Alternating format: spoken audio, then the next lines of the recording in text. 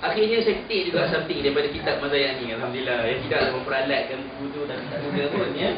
Kata Asyaf Fathiyakan dalam buku ni Kata beliau Antakuna ibadati hayatan mutasilatan bil ma'bud Wahadihi darajatul ihsan fil ibadah. Bahawa dari segi ibadah kita Ibadah itu mestilah sesuatu yang hidup Dan bersambung dengan Tuhan yang disembah Ataupun berhubung dengan yang kita sembah. Maknanya kita beribadah kepada Allah. Ibadah yang hidup itu ialah ibadah yang connected dengan Allah yang kita sembah. Ya. Dan wahadhihi darajatul ihsan ibadah. Inilah darjat kesempurnaan terhadap apa yang diistilahkan sebagai sebagai ibadah. So the question now is bagaimanakah kita nak menghidupkan ibadah kita? Sebabnya salah satu daripada uh, karakter yang ada dalam ibadah kita ialah kita kena ulang. Ya, banyak kali kita kena ulang. Uh, semayang lima kali sehari dia paling banyak lah. Ya, kemudian yang keduanya eh, puasa 30 hari dalam satu tahun. Zakat kita ulang dan sebagainya. Banyak dari segi ibadah kita kita ulang. Proses mengulang ibadah ni saya rasa kita tak susah nak faham kenapa kita kena ulang. Kalau kita tanya kepada coacher, kepada apa ni, um, Bola keranjang ke, bola jaring ke, apa semua orang akan cakap repetition is the mother of success.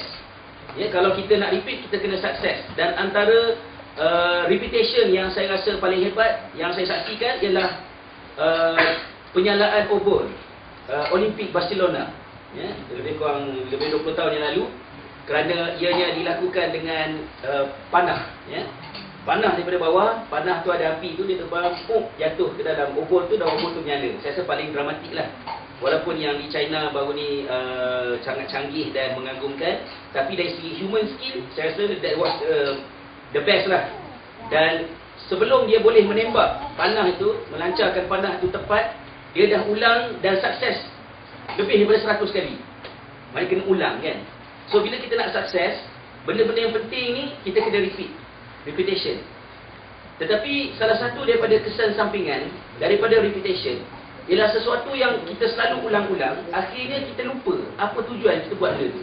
Dia jadi subconscious punya perbuatan. Buat kereta kan? Rumah dah besar dah. Kan? On the way balik ke, singgah kedai, beli beras.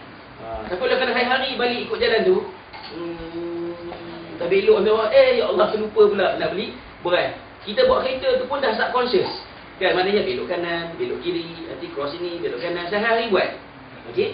Itulah juga dengan ibadah kita. Oleh kerana kita selalu ulang, sepatutnya pengulangan itu berjaya internalize nilai-nilai tertentu pada kita. Tapi kadang-kadang kita terlupa dan kita jadi terbiasa sampai hilang purpose dia.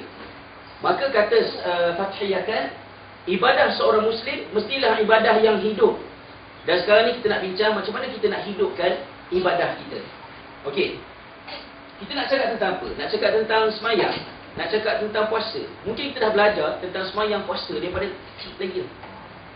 Tetapi dari segi ibadah, kalau saya tanya pada anda, adakah sesiapa di kalangan anda yang masih menggunakan laptop Windows 95? Ada. Saya rasa tak ada. Kan? Orang yang guna laptop Windows 95, saya rasa uh, laptop tu hanya boleh digunakan sebagai pemberat kertas. Letak kertas, letak laptop atas. Bayangin tak tiup kan? Itu je fungsi dia nak cucuk thumb drive ke apa ke semua susah nak jalan tak compatible. Sebab apa? Kita kena upgrade operating system. Kan? Daripada uh, 95 ke 98 98 kepada XP ME Vista dan sebagainya kita kena upgrade. Okey? Samalah juga dengan ilmu dalam ibadah. Yes saya yakin saya bukan bercakap tentang sesuatu yang anda tidak tahu. Kita dah belajar tentang solat puasa daripada kecil. Tapi ilmu ni kena tambah. Kena upgrade daripada semasa semasa Amat malang orang yang berusia 25 tahun, 30 tahun, apatah lagi 40 tahun, 50 tahun, masih lagi semayang dengan ilmu yang dia belajar masa dia umur 15 tahun. Tak boleh, kena upgrade knowledge. Sebab cabarannya pelbagai. Contohnya, bila anda datang ke Jepun, anda berdepan dengan situasi-situasi yang tidak pernah dihadapi oleh orang Malaysia. As simple as nak mengerjakan semayang. Kan? Pelbagai cerita lah. Bolehlah dibincangkan. Kemudian, ya, kalau ada persoalan-persoalan yang berkaitan dengannya. Kalau nak pergi ke United States, anda naik kapal terbang, mungkin sampai uh, 30 jam campur transit sikit, anda bertolak pada tarikh yang sama, pada tarikh sekian, setelah lebih satu hari terbang, sampai ke New York, masih lagi tarikh yang sama. Macam mana nak tentukan waktu solat? Contohnya, ada ilmu kena tambah.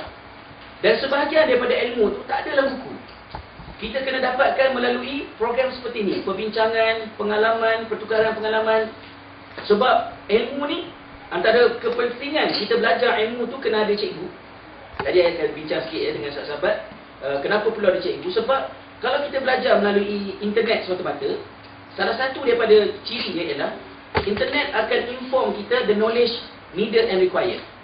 Tapi guru akan ajar bukan sahaja ilmu, tapi how to handle the knowledge. Macam mana nak bawa ilmu tu.